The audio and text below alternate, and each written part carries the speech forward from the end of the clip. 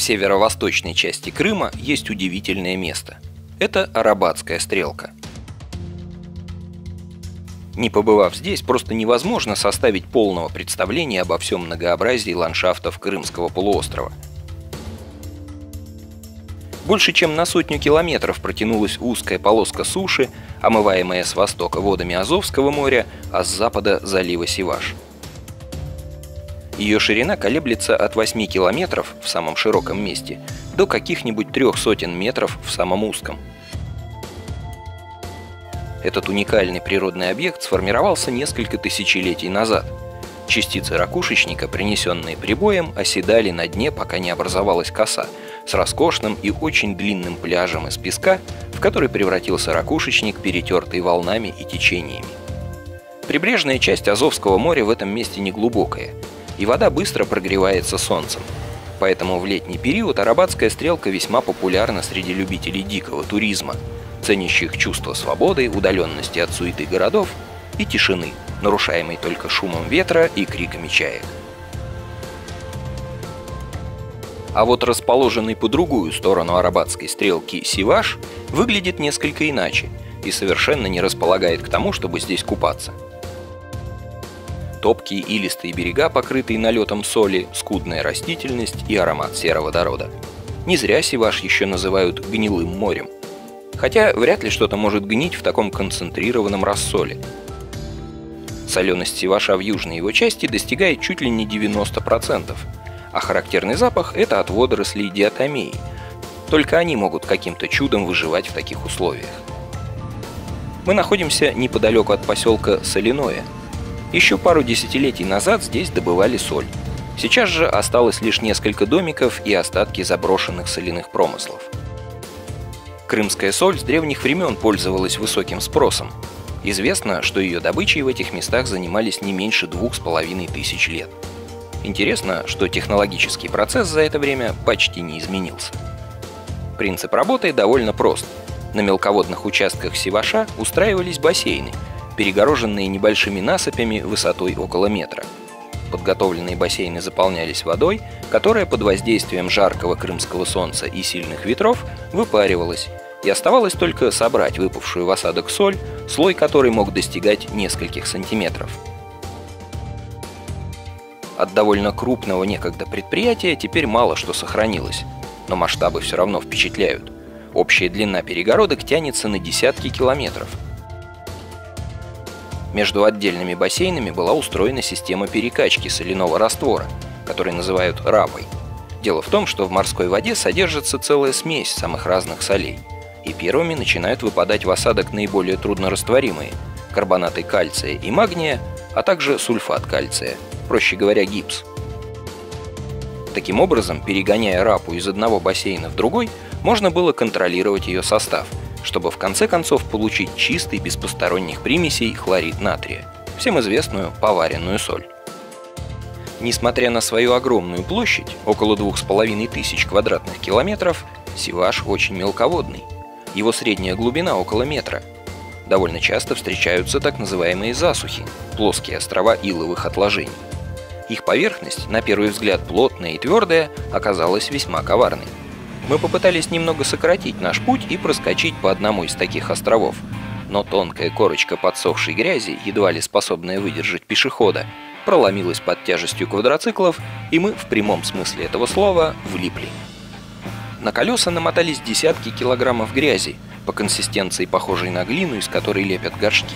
По крайней мере, наши колеса очень напоминали вращающиеся гончарные круги с заготовками горшков – Считается, что эта грязь очень полезна для здоровья и способна лечить многие болезни, в частности опорно-двигательного аппарата.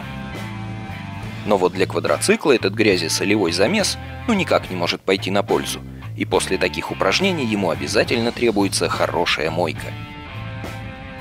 Нам стоило немалых усилий выбраться из этой ловушки – особенно с учетом того, что на огромной площади было абсолютно не за что зацепиться, и нам удалось справиться, только по очереди цепляя лебедки друг за друга.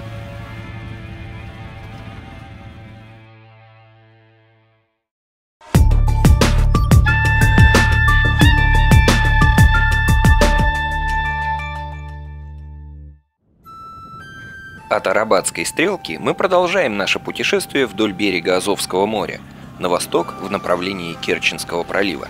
Можно заметить, как изменился прибрежный ландшафт. Вместо песчаных пляжей теперь у нас под колесами известковый уступ, довольно круто обрывающийся к морю. Иногда дорога пересекает небольшие овраги, спускаясь и поднимаясь на вершины холмов, с которых открывается великолепный вид на просторы Азовского моря. Пожалуй, самое яркое впечатление от этих мест – удивительно чистый воздух. Промышленных городов и загруженных автомагистралей в ближайшей округе нет. Ну а кроме того, совсем недалеко отсюда, всего около 20 километров к югу, находится Черноморское побережье. Поэтому с какой бы стороны ни подул ветер, это всегда будет ветер с моря. Старинное название этой местности – Акманай. В переводе с тюркского – «белый лоб». Это только кажется, что все вокруг зеленое. Просто изумрудная весенняя травка скрывает истинный цвет породы, из которой состоят окружающие нас степные холмы. С давних пор традиционным занятием для местного населения, помимо рыбной ловли, была добыча строительного камня. Причем добывали его в основном подземным способом – оставив под землей лабиринты рукотворных тоннелей, тут и там выходящие на поверхность вентиляционными шахтами, а то и просто провалами грунта. Поэтому, как бы нам не хотелось иногда сократить путь и прохватить напрямки покажущейся абсолютно ровной степной поверхности, в этих местах лучше не съезжать с накатанных дорог и колей. Можно внезапно провалиться, и притом довольно глубоко. Акманайские подземелья не так известны, как, например, находящиеся в районе Кирчи каменоломни Аджимушкая, но, безусловно, и те, и другие стоят того, чтобы в них побывать. Известняк использовался в строительстве с античных времен. Из него построено немало домов в Феодосии и Кирчи. Но о том, кто и когда начал добычу камня именно в этом месте, точно неизвестно. Есть мнение, что первые шахты появились в конце 18 века при Екатерине II, по приказу императрицы сюда ссылали проштрафившихся солдат и матросов. Ручные пилы, кирки да лопаты – вот и весь нехитрый инструмент, с помощью которого были сделаны эти впечатляющих размеров катакомбы, сеть которых тянется на десятки километров, порой в несколько этажей. Огромные залы поражают своими размерами. Если бы входы были немного пошире, сюда наверняка мог бы заехать и грузовик-самосвал трудом укладывается в голове, что такой гигантский объем работ мог быть проделан вручную. По мере путешествия вглубь каменоломен, ходы постепенно сужаются и становятся более разветвленными. Ходят слухи, что по этим лабиринтам можно, не выходя на поверхность, дойти до Кирчи и даже до мыса Апук. Но к этому вряд ли стоит относиться серьезно, поскольку при разработке каменоломен такой транспортной задачи, скорее всего, не стояло – и вряд ли кто-то стал бы пробивать тоннель длиной больше 100 километров просто ради самого факта его существования. Считать количество пройденных поворотов и развилок для запоминания обратной дороги не имеет смысла, настолько их много. И тому, кто попал сюда впервые, может показаться, что в акманайских каменоломнях очень легко заблудиться. Но, как и большинство рукотворных подземелий, они имеют довольно четко прослеживающуюся структуру – с основными магистральными ходами, которые проложены вдоль береговой линии, и более узкими поперечными ответвлениями, как правило, заканчивающимися тупиками. Так что если не паниковать и вдумчиво относиться к процессу ориентирования, вы легко найдете выход. Кроме того, здесь полным-полно отверстий, сообщающихся с поверхностью, как технологических, так и образовавшихся в результате обвалов. К слову, обрушения в катакомбах периодически случаются. Поэтому, если уж вы решите отправиться сюда на поиски приключений, делайте это обязательно в команде опытных исследователей подземелий. Местами встречаются рукотворные стенки, аккуратно сложенные из обломков породы. То, что считалось отходами и не вывозилось на поверхность, каменотесы использовали для обустройства жилищ, бытовых помещений и даже могил – ведь многие из тех, кто оказался здесь не по своей воле, проводили годы в этих каменных лабиринтах, не выходя на поверхность и не замечая ни перемены погоды, ни даже времени суток.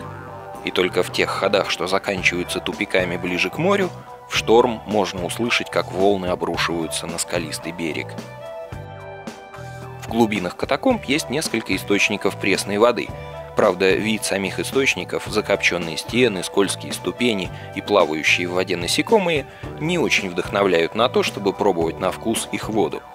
Хотя для трудившихся здесь каменотесов, наверное, и такая вода была за счастье. В акманайских каменоломнях живет довольно крупная колония летучих мышей. Они проявляют активность только в ночное время, когда вылетают на поверхность в поисках пропитания. А днем животные собираются в плотные группы и спят под потолком, зацепившись за шероховатости камня коготками задних конечностей и укутавшись в собственные крылья, от чего становятся похожими на скопище кожаных мешочков – Поднявшись на поверхность, мы продолжаем наше путешествие по пути пересекая карьер, в котором в более поздние времена разработка известняка велась открытым способом. Напоминают об этом огромных размеров выемки прямоугольной формы, следы пропилов на стенах и дорожки для вывоза добытого материала. Наши квадроциклы кажутся мелкими букашками в сравнении с габаритами этих карьеров. Кстати, по их виду можно оценить и масштабы подземных выработок – которые занимают ничуть не меньшую площадь, только скрыты под поверхностью. Сквозь пролом в стене карьера виднеется кусочек Азовского моря. Мы не можем отказать себе в удовольствии выбраться на прибрежные скалы, полюбоваться окружающими просторами и подышать морским воздухом, который приобретает какой-то особый вкус и аромат, когда ты только что выбрался на свет из холодных и мрачных подземелий.